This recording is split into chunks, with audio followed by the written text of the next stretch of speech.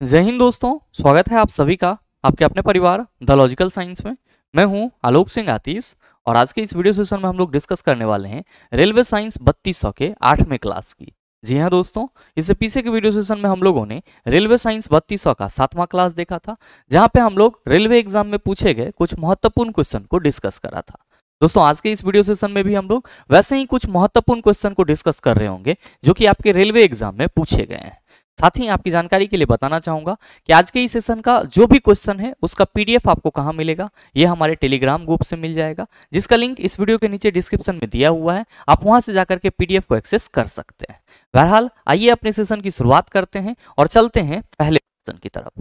मेरे मित्र, आपका जो पहला क्वेश्चन है आज के इस सेशन का क्वेश्चन नंबर वन क्या पूछा जा रहा है आपसे? आपसे पूछा जा रहा है कि डीसी मोटर के लिए इनमें से कौन से कथन सत्य हैं? मेरे मित्र, आपका पहला स्टेटमेंट है कि विभक्त वलय का कार्य धारा के प्रवाह को उलटना है। दूसरा है, चुंबकीय क्षेत्र के समांतर संरेखित कुंडली की भुजाओं पर अधिकतम बल लगता है। और तीसरा है कि प्रत्येक आधे घूर्णन के बाद धारा को उलटने की वजह से कुंडली में निरंतर घूर्णन होते रहता है। और मेरे मित्र, आपको यहाँ पे ये सेलेक्ट करना है कि इस तीन स्टेटमेंट में से कौन सा आपका सही है। क्या कहेंगे कि गुरुजी, आपने पीछे के सेशन से लगातार कई बार बताया है कि सर, जो स्प्लिट रिंग होती है, उसका काम क्या होता है? तो आप सभी कहते हैं धारा के प्रवाह को उलटना होता है। और साथ ही साथ आप सभी को मैंने ये भी बताया है कि प्रत्येक आधे घूर्णन के बाद धारा को उलटने की वजह से क्या होता है? तो सर, कुंडली निरंतर घूर्णन करते रहता है। यानी कि कुंडली निरंतर आपका क्या करता है? सर, गति करते रहता है। तो जो आपका क्वेश्चन है उस हिसाब से स्टेटमेंट वन और स्टेटमेंट थ्री आपका क्या है? सही है। जबकि यहाँ पे दूसरा स्टेटमेंट जो कहा जा रहा है कि चुंबकीय क्षेत्र के समांतर संरेखित कुंडली की भुजाओं पर अधिकतम बल लगता है, ये क्या है सर? गलत है। ध्यान में रखेंगे डीसी मोटर यहाँ पे डायरेक्ट करंट मोटर की बात की जा रही है। तो आप क्या कहेंगे कि गुरुजी, ये चीज़ तो हम लोग पहले से जान रहे थे। तो मेरे मित्र, आप ही बता दो कि आपके इस क्वेश्चन का सही आंसर क्या हो जाएगा। आप कहेंगे, सर, एक और तीन दोनों देख लीजिए किस ऑप्शन में आप कहेंगे, सर ऑप्शन नंबर डी में ध्यान में रखेंगे कि मोटर हो या जनरेटर हो, ये सभी किस सिद्धांत पे कार्य कर रहे होते हैं? तो आप सभी कहेंगे, गुरुजी ये विद्युत धारा के चुंबकीय प्रभाव पे कार्य कर रहे होते हैं, ये चीज़ आप सभी ध्यान में रखिएगा। और साथ ही विद्युत धारा के चुंबकीय प्रभाव की खोज किसने करा था? तो आप सभी कहेंगे, सर ऑरेस्टेड नामक वैज्ञानिक ने करा था। मेरे मित्र, आपका जो अगला क्वेश्चन है, बड़ा ही सरल सा क्वेश्चन कि निम्न अभिक्रिया डैश का उदाहरण है। आपका अभिक्रिया है MgOH होल टू और 2HCl रिएक्ट करके MgCl2 और 2H2O बना रहा है। आपसे ये पूछा जा रहा है कि ये अभिक्रिया किसका उदाहरण है? आप सभी क्या कहेंगे कि गुरुजी, यहाँ पे जो MgOH होल टू है, इसको हम लोग मैग्नीशियम हाइड्रोक्साइड पढ़ते हैं। और चला जी, ये क्या है? आप कहिएगा, सर, ये तो एक प्रकार का क्षार है। और यहाँ पे जो एच है, ये क्या है? आप कहेंगे, गुरुजी, ये एक प्रकार का अम्ल है। क्या है? अम्ल है। और मेरे मित्र, आप सभी क्या देख रहे हैं कि अभिक्रिया अम्ल और क्षार के बीच हो रही है तो ज़ाहिर सी बात है, क्या बनेगा? लवण और जल बनेगा। मैंने आपको कई बार बताया है कि when the acid reacted with base when the acid reacted with base then they form salt and water जब आपका अम्ल क्षार के साथ अभिक्रिया करता है, तब लवण और जल बनाता है। और ऐसी अभिक्रिया को क्या कहते हैं हम लोग? तो सर न्यूट्रलाइजेशन रिएक्शन यानी कि उदासनीकरण अभिक्रिया कहते हैं। मेरे मित्र, आप सभी कहेंगे कि सर उदासनीकरण अभिक्रिया तो हमारे पहले ही ऑप्शन में है। बिल्कुल, आपके इस क्वेश्चन का सही आंसर ऑप्शन नंबर ए हो जाएगा। साथ ही आप सभी के मन में आ रहा होगा कि गुरुजी, यहाँ पे संयोजन अभिक्रिया है। ध्यान दीजिएगा, इसी को हम लोग कॉम्बिनेशन रिएक्शन कहते हैं। और मैंने आपको ये चीज़ भी कई बार बताया है कि जब दो अभिकारक आपस में जुट करके एकल प्रतिफल का निर्माण करते हैं तो उस अभिक्रिया को क्या बोला जाता है? सर, संयोजन अभिक्रिया बोला जाता है, जिसको हम लोग सांकेतिक रूप में किस तरह से रिप्रेजेंट करते हैं? तो सर ए बी अगर हमारा अभिकारक है तो ये अभिक्रिया करके क्या बना लेगा? तो सर, एकल प्रतिफल सी बनाएगा, और ये ए प्लस बी एरो डाल के जो सी लिखते हैं, ये संयोजन अभिक्रिया का क्या है सर? सांकेतिक रूप है या सांकेतिक निरूपण है? ये क्वेश्चन भी आपके एग्ज़ाम में पूछा गया था तो इस चीज़ को भी आप अपने माइंड में रखेंगे।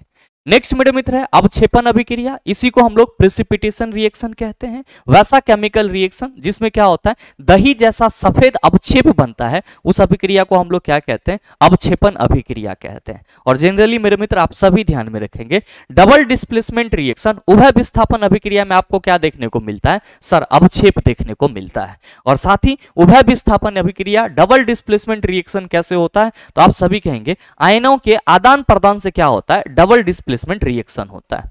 नेक्स्ट है सर, अपघटन अभिक्रिया। इसको हम लोग डिकम्पोजिशन रिएक्शन कहते हैं। इसमें क्या होता है? तो सर, कोई बड़ा सा यौगिक टूट करके छोटे छोटे एक से अधिक प्रतिफल का निर्माण करते हैं। जैसे कि अगर आप सभी कैल्शियम कार्बोनेट को चेला जी, अगर आप सभी कैल्शियम कार्बोनेट को गर्म करते हैं तो ये कैल्शियम ऑक्साइड और कार्बन डाइऑक्साइड में टूट जाता है। तो यहाँ पे जो कैल्शियम कार्बोनेट का अभिक्रिया हो रहा है, वो कौन सा है? आप कहेंगे अपघटन अभिक्रिया है। नेक्स्ट क्वेश्चन आपसे यह पूछा जा रहा है कि स्लाइडेन और स्वान द्वारा दिया गया कोशिका सिद्धांत निम्नलिखित में से किन जीवों पर लागू नहीं होता है? मेरे मित्र, आप सभी ध्यान में रखिएगा, जब भी आपसे सवाल पूछा जाए कि सेल थ्योरी यानी कि कोशिका सिद्धांत कोशिका सिद्धांत को हम लोग क्या कहते हैं? आप सभी ध्यान में रखेंगे, इसको हम लोग सेल थ्योरी कहते हैं। और जब भी पूछा जाए कि कोशिका सिद्धांत किसने प्रतिपादित किया, आप कहेंगे, स्लाइडन और स्वान नामक वैज्ञानिक ने प्रतिपादित किया। कोशिका सिद्धांत में इन्होंने क्या बताया? इन्होंने बताया कि प्रत्येक जीव का शरीर कोशिका से बना होता है और प्रत्येक कोशिका पहले से जो उपस्थित कोशिका होती है प्री एग्जिस्टिंग सेल होती है, उससे निर्मित होती है। ध्यान में रखेंगे कि सेल थ्योरी का दो मेन पार्ट है, या आप कह सकते हो दो मेन स्टेटमेंट है। क्या? कि प्रत्येक जीव का शरीर कोशिका से बना होता है, और साथ ही जो आपका नई कोशिका होता है, वो पहले से उपस्थित कोशिका से क्या होता है? निर्मित होता है। ये क्या था? स्लाइडेन और स्वान का स्टेटमेंट था। और मेरे मित्र, आप सभी को यहाँ पे ध्यान में रखना होगा कि जो कोशिका सिद्धांत है, वो वायरस पे लागू नहीं होती है, विषाणु पे लागू नहीं होती है। क्यों? क्योंकि सर वायरस जो है, वो जब किसी सजीव के संपर्क में आता है तो सजीव की तरह बिहेव करता है और अदरवाइज़ वो कैसा हो जाता है सर? निर्जीव की तरह बिहेव करता है। और ध्यान में रखेंगे कि वायरस को हम लोग बोतल में बंद करके भी रख सकते हैं और कई समय तक, बहुत लंबे समय तक सर, वो रह सकता है। और इसकी सबसे बड़ी प्रॉपर्टी ये होती है कि ये जैसे ही किसी लिविंग चीज़, सजीव सजीव वस्तुओं के संपर्क में आते हैं, ये क्या हो जाते हैं सर? सजीव हो जाते हैं। और मेरे मित्र, इसके अंदर जो सबसे बड़ा प्रॉपर्टीज़ होता है, वो होता है तेज़ी से रेप्लीकेट करने बढ़ने का गुण, यानी कि ये बहुत तेज़ी से क्या होते हैं, अपनी संख्या को बढ़ाना शुरू कर देते हैं, जैसे कि आपने कोरोना वायरस के समय में देखा था। तो आपसे जो सवाल करा जा रहा है कि स्लाइडन और स्वान द्वारा दिया गया कोशिका सिद्धांत निम्नलिखित में से किन जीव पर लागू नहीं होता है, आप सीधे कहेंगे, सर, वायरस पे लागू नहीं होता है। और मेरे मित्र, कोशिका सिद्धांत क्या है? तो आप सभी कोशिका सिद्धांत के, आप सभी कोशिका सिद्धांत के दो महत्वपूर्ण, कोशिका सिद्धांत के दो महत्वपूर्ण स्टेटमेंट को याद रखना। पहला क्या? तो पहला आप सभी याद रखना कि प्रत्येक जीव का शरीर, प्रत्येक जीव का शरीर कोशिका से बना होता है। प्रत्येक जीव का शरीर, प्रत्येक जीव का शरीर कोशिका से बना होता है। कोशिका से बना होता है। और साथ ही आप सभी क्या याद रखेंगे? आप सभी याद रखना, दूसरा स्टेटमेंट है कि नई कोशिका का जन्म या नई कोशिका नई कोशिका का निर्माण निर्माण पहले से उपस्थित कोशिका से होता है। नई कोशिका का निर्माण पहले से उपस्थित कोशिका से होता है। पहले से उपस्थित कोशिका से होता है। और ये चीज़ तो आप सबों को याद ही रहेगा कि सर, कोशिका सिद्धांत किसने दिया था? स्लाइडन और स्वान ने दिया था। ध्यान में रखेंगे कि विषाणु को कोशिका सिद्धांत का अपवाद भी बोला जाता है। तो अगर कहीं पे ये सवाल पूछा जाए कि निम्नलिखित में से कोशिका सिद्धांत का अपवाद है, आप कहेंगे विषाणु। क्यों? क्योंकि वायरस पे कोशिका सिद्धांत लागू नहीं होता है। नेक्स्ट क्वेश्चन देखेंगे सर बड़ा ही सरल सा है. मैंने कई बार डिस्कस करा है. आपसे पूछा जा रहा है कि एक सीधे धारावाही चालक के कारण उत्पन्न चुंबकीय क्षेत्र की दिशा इनमें से किसका उपयोग करके निर्धारित की जा सकती है? फ्लेमिंग का दाएँ हाथ का नियम, बाएँ हाथ के अंगूठे का नियम फ्लेमिंग का बाएँ हाथ का नियम, दाएँ हाथ के अंगूठे का नियम. क्या होगा इसका आंसर बहुत सारे मित्र यहाँ पे लगातार कंफ्यूज होते हैं, लेकिन भाई मेरे आप सभी ध्यान में रखना, चार बातें यहाँ पे. अगर आपसे ये कोई पूछे कि विद्युत धारा के चुंबकीय प्रभाव की खोज किसने करा? अगर आपसे ये पूछे कि विद्युत धारा के चुंबकीय प्रभाव की खोज, यानी कि मैग्नेटिक इफ़ेक्ट ऑफ़ करंट की खोज किसने करा? आप सभी कहेंगे, गुरुजी ऑरेस्टेड नामक वैज्ञानिक ने करा। किसने करा? ऑरेस्टेड नामक वैज्ञानिक ने करा। आपसे ये पूछा जाए कि बल की दिशा, बल की दिशा निम्नलिखित में से किसके नियम से पता लगाया जाता है? तो मेरे मित्र, मैंने आपको बताया है कि जब हम लोग फ्लेमिंग के बाएँ हाथ नियम की बात करते हैं, फ्लेमिंग के लेफ़्ट हैंड रूल की बात करते हैं तो क्या कहते हैं कि सर, लेफ़्ट हैंड रूल के अनुसार अगर हम लोग बाएँ हाथ के तीन उंगली, अंगूठा, तर्जनी और मध्यमा को कुछ इस तरह से रखे कि तीनों समान कोनिक हो तो जो अंगूठा है वो बल की दिशा को बताएगा, तर्जनी किसको बताएगा, चुंबकीय क्षेत्र की दिशा को बताएगा, और ये जो है, ये किसको बता रहा है? तो सर, ये धारा की दिशा को बताता है। और मेरे मित्र, आप सभी को मैंने कई बार बताया है कि फ्लेमिंग के बाएँ हाथ के रूल से, फ्लेमिंग के फ्लेमिंग के लेफ़्ट हैंड रूल से हमें क्या मालूम चलता है? आप सभी ध्यान में रखना कि फ्लेमिंग के लेफ़्ट हैंड रूल से हमें, फ्लेमिंग के लेफ़्ट हैंड रूल से हमें बल की दिशा का पता चलता है।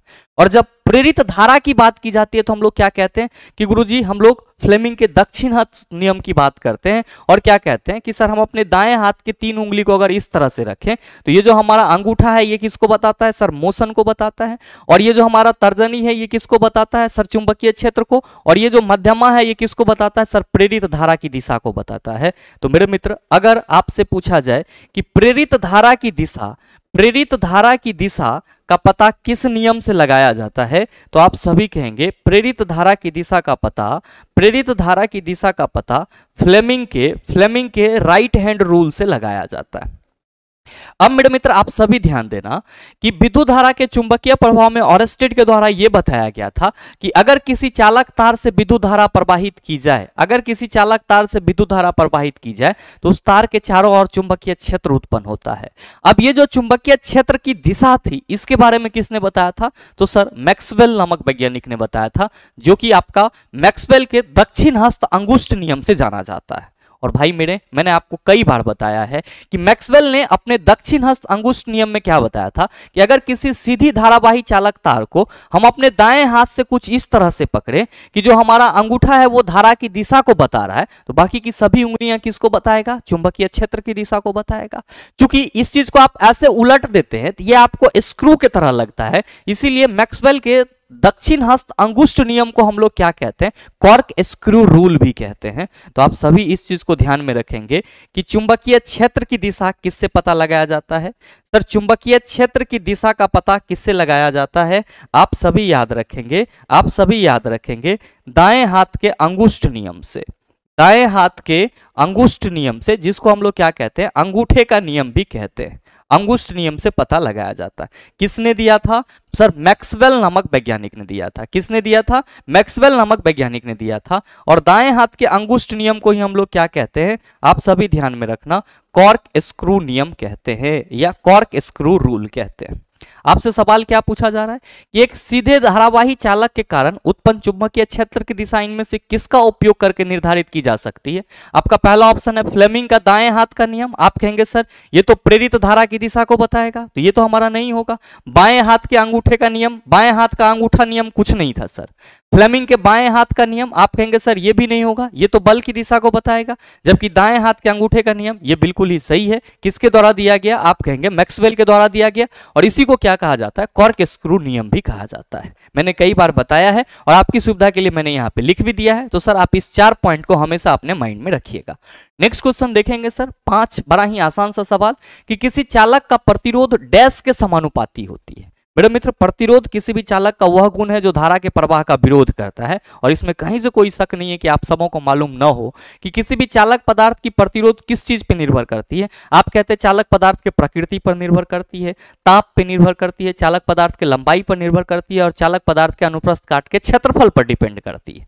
बड़े मित्र, आपसे सवाल क्या करा जा रहा है कि किसी चालक का प्रतिरोध डैश के समानुपाती होता है? आप सभी क्या कहते हैं कि गुरुजी, किसी भी चालक पदार्थ का प्रतिरोध चालक तार के लंबाई के समानुपाती होती है और उसके अनुप्रस्थ काट क्षेत्रफल के व्युत्कर्मानुपाती होती है। तो आपसे जो सवाल करा जा रहा है, पहला ऑप्शन में चालक के टर्मिनलों के बीच आरोपित विभवांतर गलत है। चालक से होकर प्रवाहित होने वाली धारा बिल्कुल गलत है, सर।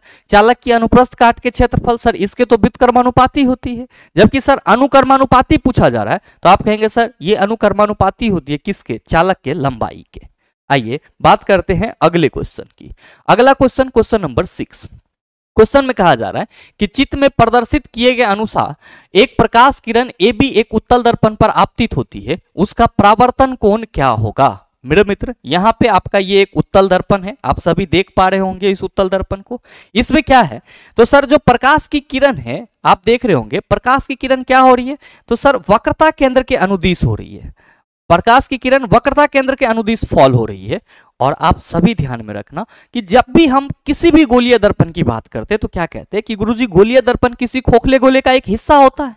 मेरे मित्र, आप सभी ध्यान में रखेंगे कि गोलीय दर्पण जिस खोखले गोले का हिस्सा होता है, उसका केंद्र क्या कहलाता है? सर, वक्रता केंद्र कहलाता है। और भाई मेरे, अगर हम आपसे पूछे कि ये कोई गोला है और ये इसका केंद्र है, और इसके केंद्र से हम इसके परिधि पे एक लाइन खींच रहे हैं तो आप क्या कहेंगे कि गुरुजी, ये तिरजिया होगा? तिरजिया तो होगा, साथ में ये क्या होगा, सर? लंब होगा? मतलब क्या हुआ कि वक्रता केंद्र से अगर हम लोग सॉरी वक्रता केंद्र कह रहे किसी भी गोला, किसी भी वृत्त के केंद्र से अगर उसके परिधि पे जो हम लोग लंब डालते हैं, वो त्रिज्या होती है। और इसको हम लोग क्या कहते हैं? सर, ये परपेंडिकुलर होता है मतलब अभिलंब है। तो भाई मेरे, अगर ये उत्तल दर्पण किसी खोखला गोला का हिस्सा है तो ये वक्रता केंद्र क्या होगा? तो सर, उस गोले का केंद्र होगा। और हिस्सा है मतलब ये वाला पार्ट क्या है, सर? आप कहेंगे, सर, ये वाला पार्ट तो परिधि के रूप में देखा जाएगा, गोला के रूप में देखेंगे तब। क्योंकि गोलिया दर्पण गोला का हिस्सा होता है तो हम समझने के लिए आपको बता रहे हैं। अब ध्यान दीजिएगा कि अब इस केंद्र से हम यहाँ पे एक लंब डालेंगे तो क्या कहेंगे? आप कहेंगे, सर, ये तो अभिलंब हो जाएगा। मेरे मित्र, हम आपको यही समझाना चाह रहे थे कि चाहे दर्पण आपका अवतल हो या फिर उत्तल हो, अगर वक्रता केंद्र के अनुदिश कोई प्रकाश की किरण आती है तो वो क्या होती है? अभिलंब की तरह कार्य करती है। और आप सबों को मालूम है कि, सर, दर्पण पर अगर अभिलंबवत रूप से कोई आपतित किरण गिरती है तो वो प्रावर्तित भी क्या होती है, सर? अभिलंबवत रूप ही हो जाती है। मतलब ये ऐसे आ रही है तो ये रिटर्न भी क्या होगी, सर? ऐसी ही हो जाएगी।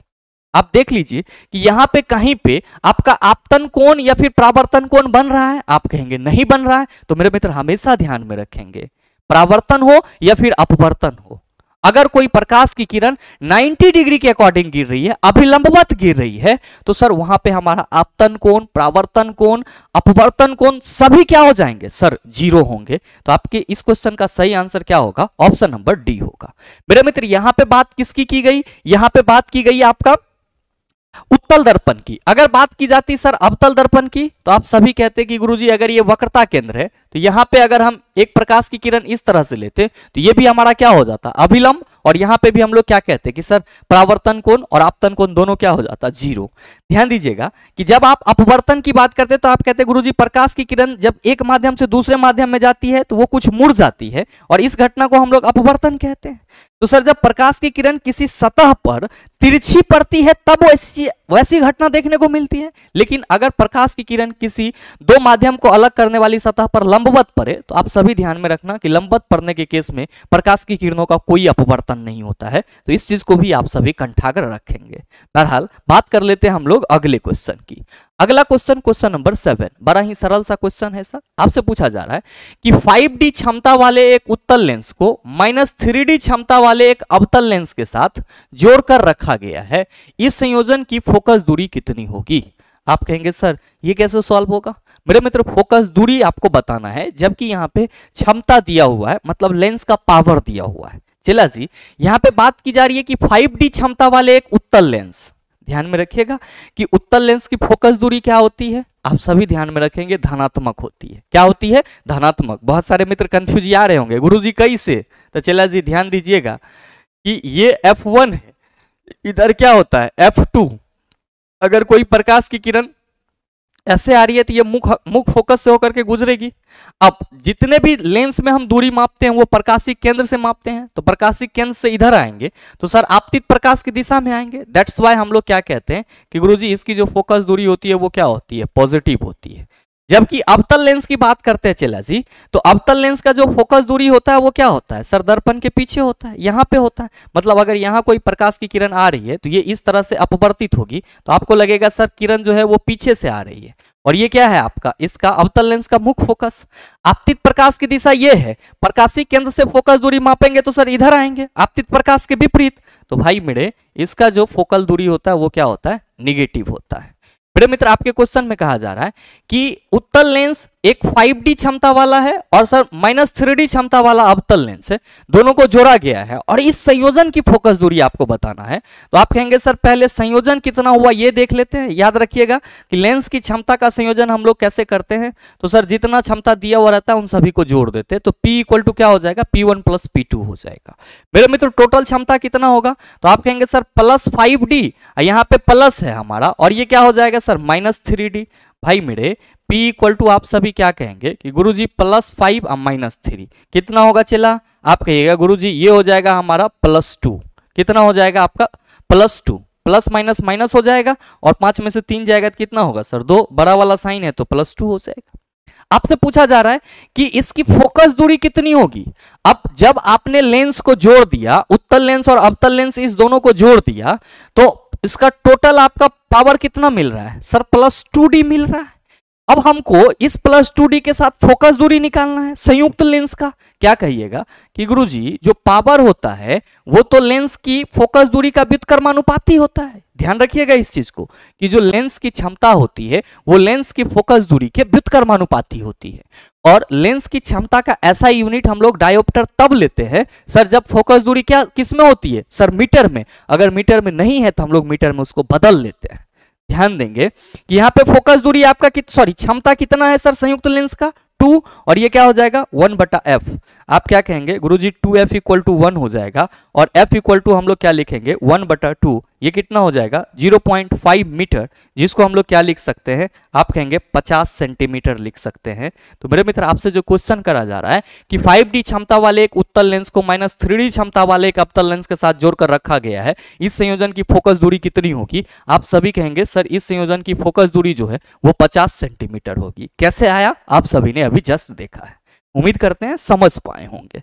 नेक्स्ट क्वेश्चन देखिएगा सर क्वेश्चन नंबर एट कि मेंडल से पहले कई वैज्ञानिक ने मटर और अन्य जीवों में लक्षण की वंशागति का अध्ययन शुरू कर दिया था, लेकिन मेंडल वंशागति के नियम देने में सफल रहे। मेंडल की सफलता से संबंधित कुछ तर्क नीचे दिए गए हैं, जिसमें से एक के अलावा अन्य सभी सही हैं।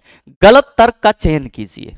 मेरे मित्र, यहाँ पे मेंडल के जो अनुवांशिकी को लेकर के सर अपना एक्सपेरिमेंट था, उस बेस पे यहाँ पे चार आपको स्टेटमेंट दिए गए हैं और इस चारों स्टेटमेंट में से कोई एक गलत है और उसी गलत को आपको छांटना है। पहला स्टेटमेंट में क्या कहा जा रहा है कि मेंडल ने प्रत्येक पीढ़ी में किसी विशेष लक्षण वाले जीवों की गिनती रखी थी। बिल्कुल ही सही है सर। जब इन्होंने मटर के पौधे पे लक्षण करा था तो सर बौने पौधे और लंबा पौधा। तो इन्होंने एक स्पेशल कैरेक्टरिस्टिक्स पे क्या करा था सर? फोकस करा था। मतलब आपका ये स्टेटमेंट सही है। दूसरा है कि उन्होंने एक समय में एक लक्षण की वंशागति का अध्ययन किया। बिल्कुल सही है ये भी सर। उन्होंने एक समय में एक ही चीज़ पे फोकस करा कि अगर लंबा है तो क्यों है और बौना है तो क्यों है। फिर उन्होंने कहा, जबकि उनसे पहले के वैज्ञानिकों ने जीव को संपूर्ण रूप से लेकर के अध्ययन किया था। सर, ये बात भी पूरी तरह से सही है। नेक्स्ट है कि उन्होंने अपने विज्ञान और गणित के ज्ञान को मिश्रित किया था। मेरे मित्र, आप सभी ध्यान में रखना कि मेंडल के पास सिर्फ़ साइंटिफिक नॉलेज ही नहीं था। उनके पास मैथमेटिकल नॉलेज भी था और उन्होंने जो आपका क्रॉस पॉलिनेशन होता है, जो, जिसको हम लोग संकरण बोलते हैं, या फिर जीनोटाइपिक और फिनोटाइपिक रेशियो बताने के लिए अपने मैथमेटिकल कैलकुलेशन का भी सहारा लिया था। मतलब क्या ये आपका तीसरा स्टेटमेंट भी सही है।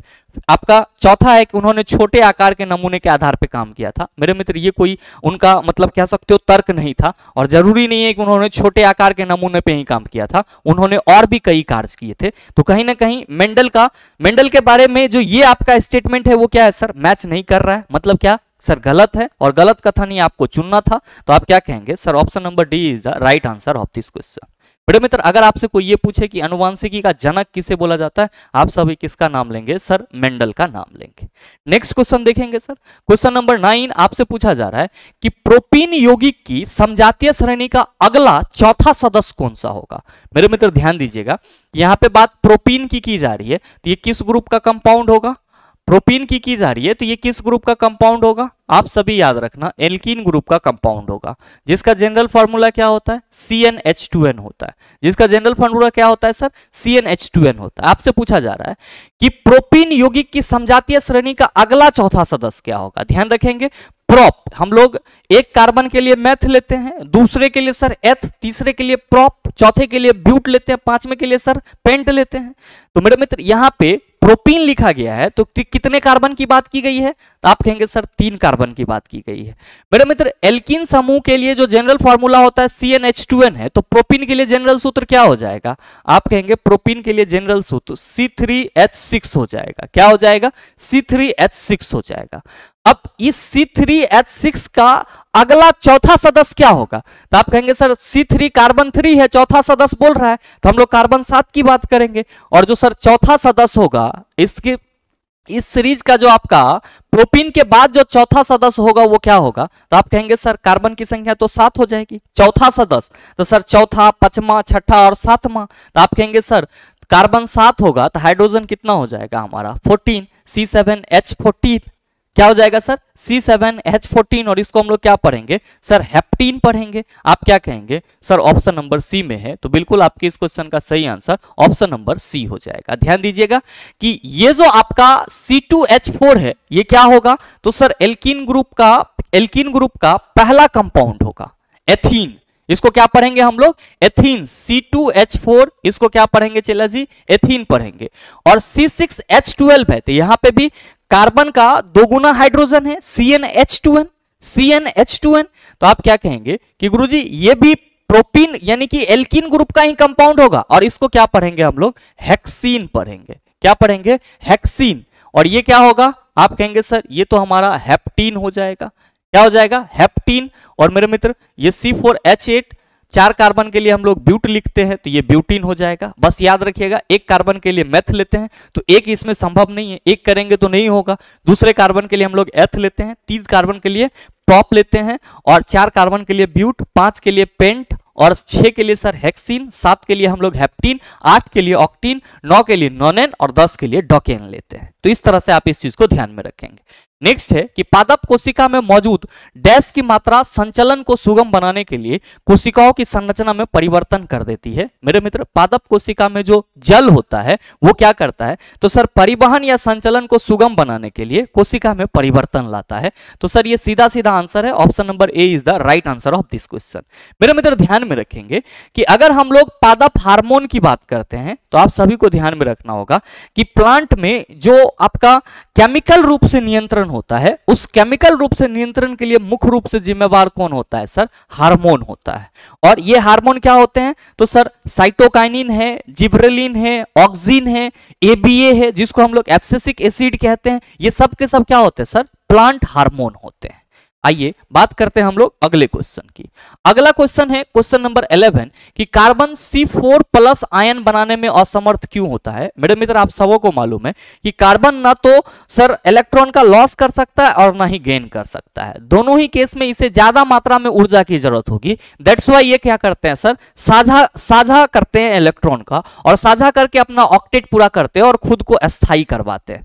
तो मतलब साफ़ है कि लॉस और गेन करने में अधिक मात्रा की ऊर्जा की की आवश्यकता होती है, जिसके वजह से ये क्या करते हैं हमेशा? सर कोवेलेंट बॉन्ड बनाते हैं। तो आपसे यही पूछा जा रहा है कि carbon C four plus ion बनाने में असमर्थ क्यों होता है? पहला है क्योंकि यह श्रृंखलन गुण प्रदर्शित करता है। नहीं कार्बन अपने श्रृंखलन गुण के कारण बहुत ज़्यादा यौगिक बनाते हैं। ये चीज़ सही है, लेकिन ये सी प्लस इसलिए नहीं बनाते कि सर ये श्रृंखलन गुण कैटिनेशन की प्रॉपर्टीज़ होती है। ये सर बात बिल्कुल ही गलत है।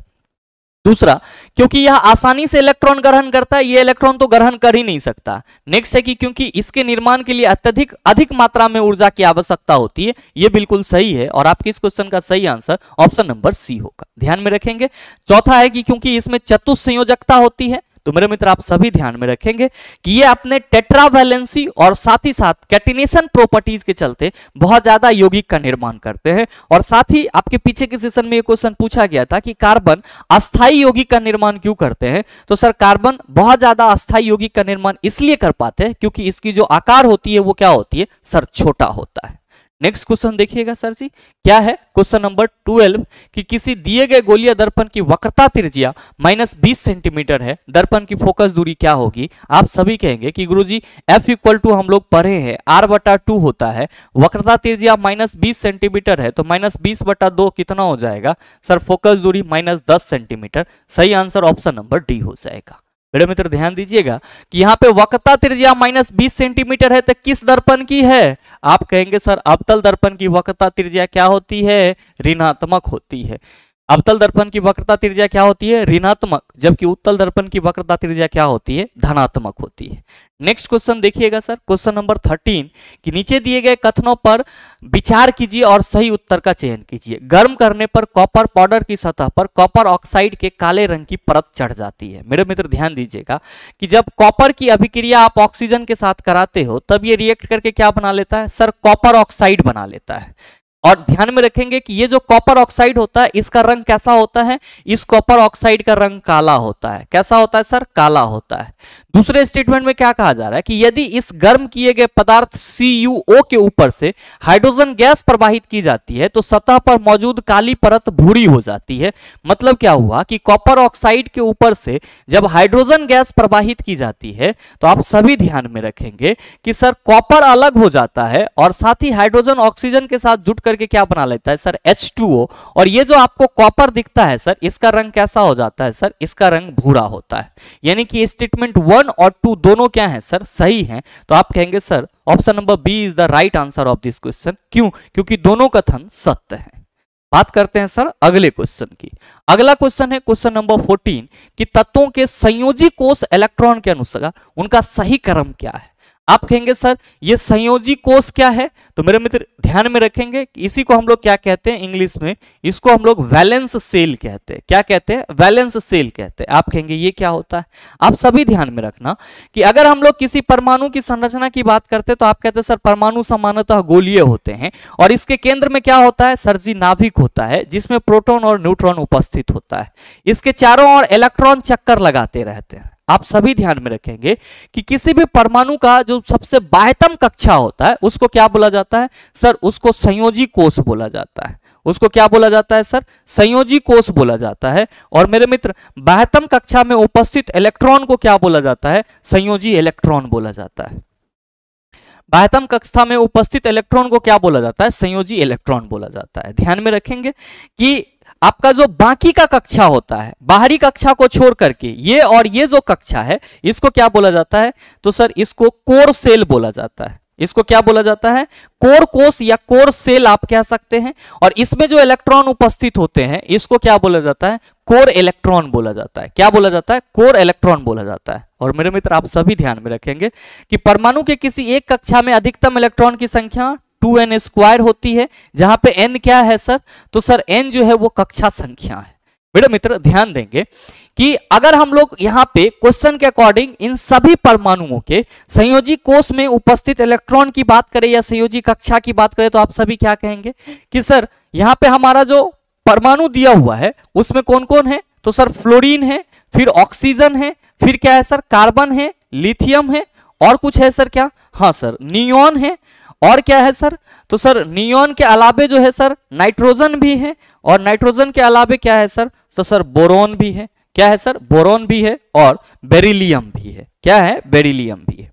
मेरे मित्र, आप सभी ध्यान में रखना कि यहाँ पे फ्लोरीन की एटॉमिक नंबर कितनी होती है, सर? नौ। ऑक्सीजन के एटॉमिक नंबर कितनी होती है, सर? आठ। कार्बन के एटॉमिक नंबर छह लिथियम का, सर, तीन। नियोन का, दस। नाइट्रोजन सात, बोरॉन कितना होता है, सर? तो हम लोग कहते हैं, सर, बोरॉन पाँच होता है, बेरिलियम, सर। तो सर बेरिलियम को हम लोग चार लेते हैं, ठीक है?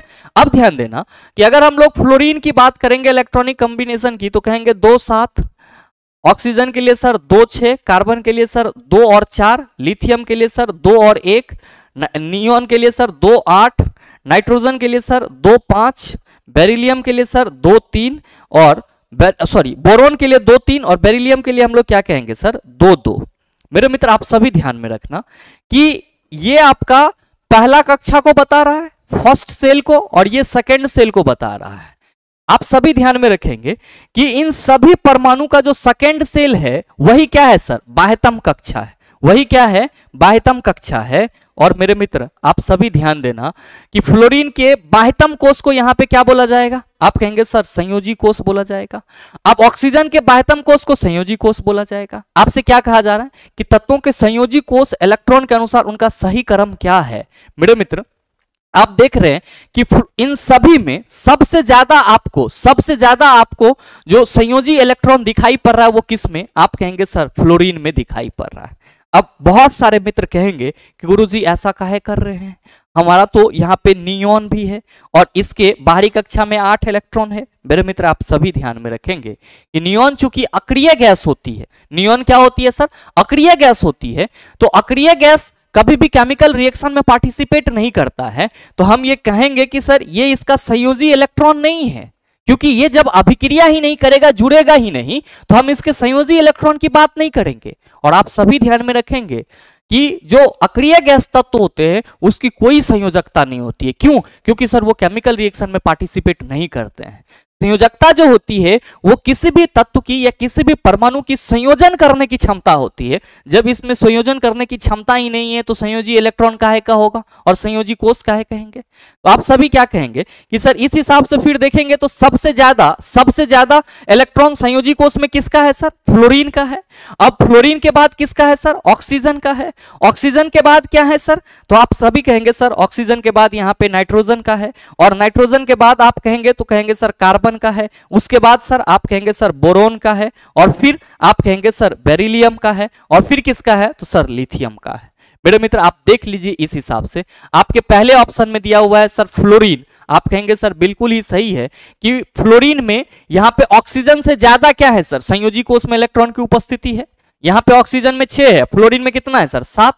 तो ये वाला तो ठीक है यहाँ तक। अब ऑक्सीजन, ऑक्सी, इस इस पहले ऑप्शन में देखेंगे तो सर ऑक्सीजन का, ऑक्सीजन में संयोजी कोष में इलेक्ट्रॉन की संख्या कार्बन से ज़्यादा है। कार्बन में कितना है सर? चार, जबकि ऑक्सीजन में कितना है सर? छह तो सर ये वाला भी सही है।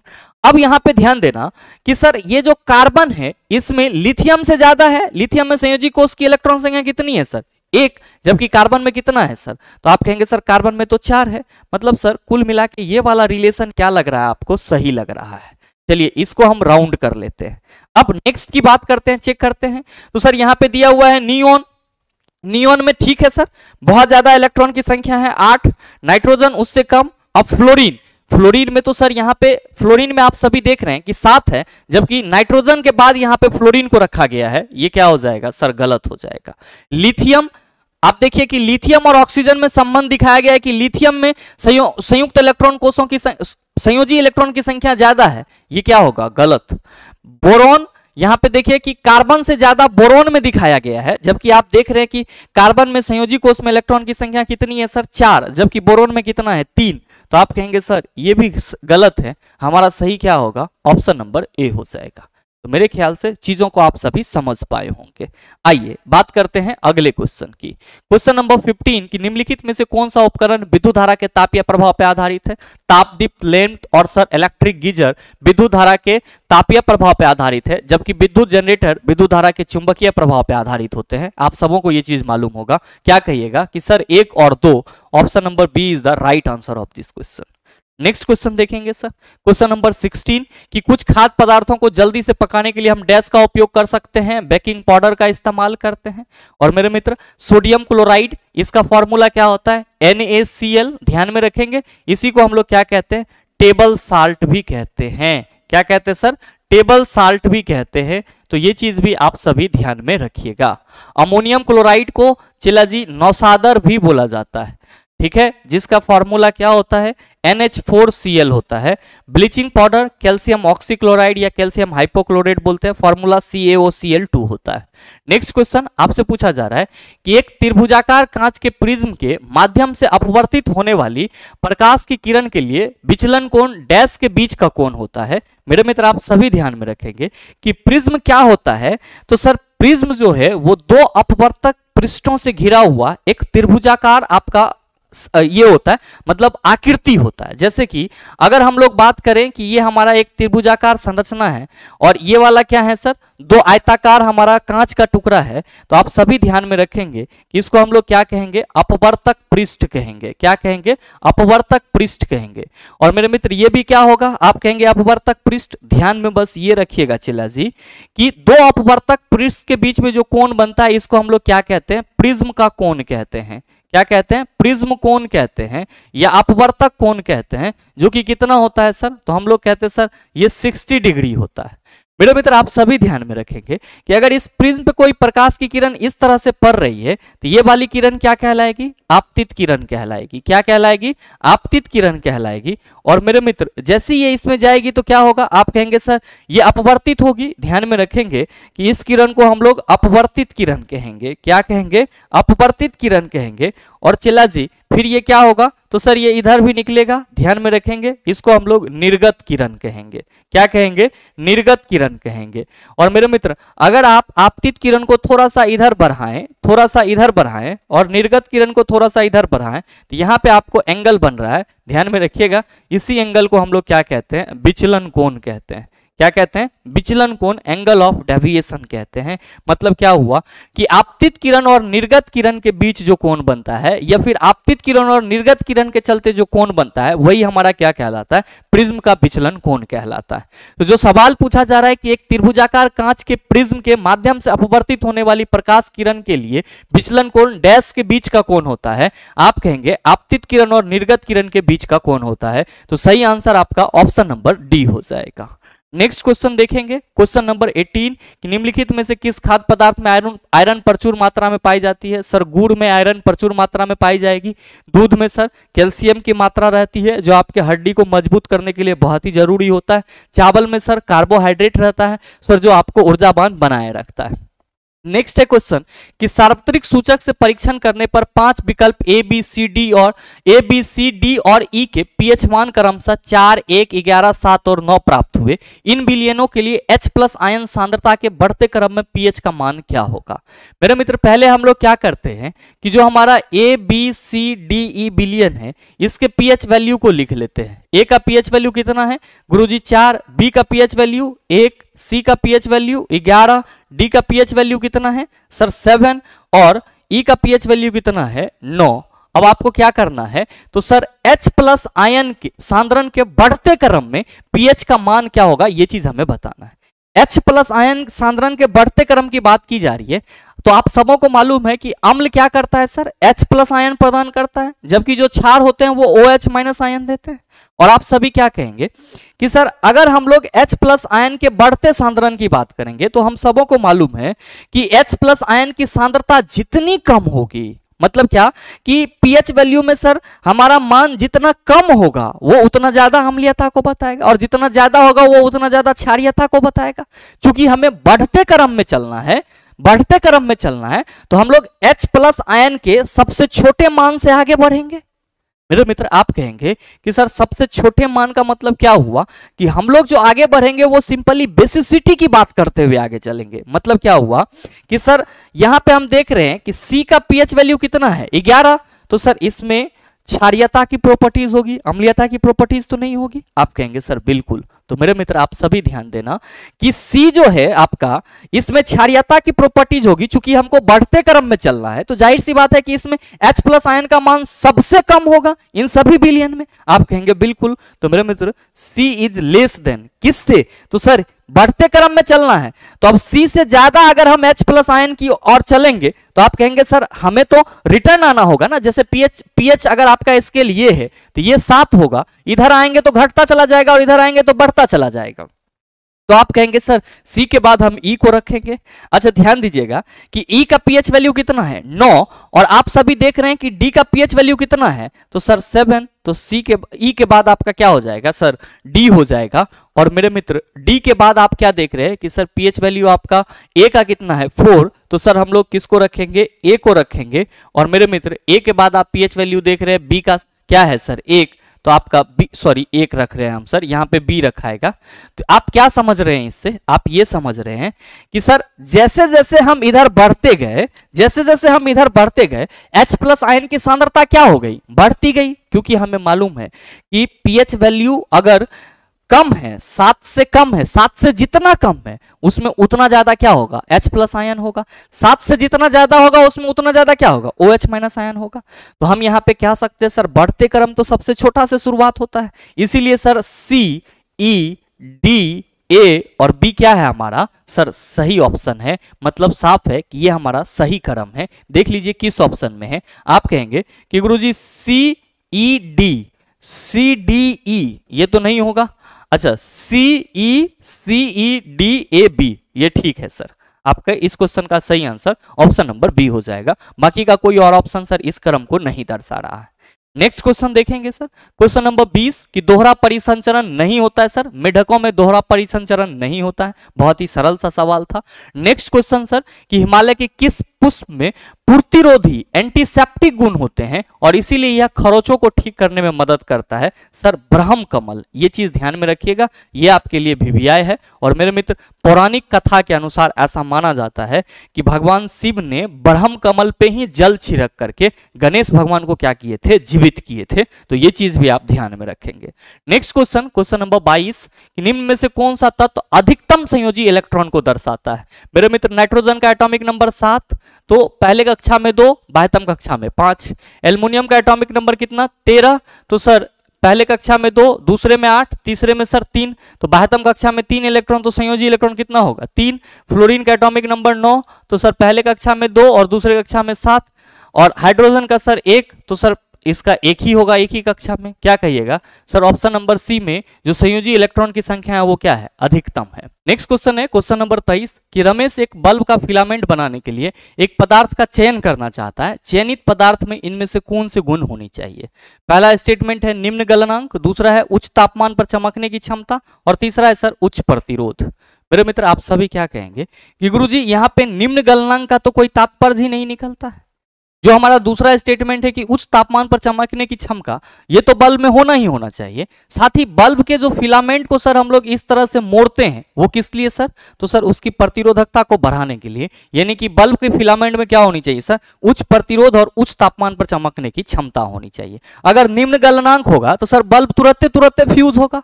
मतलब क्या हुआ कि सर हमारा जो स्टेटमेंट दो और तीन है, ये क्या है? बिल्कुल ही सही है। और आपके हिसाब से इस क्वेश्चन का सही आंसर क्या हो जाएगा? ऑप्शन नंबर ए हो जाएगा।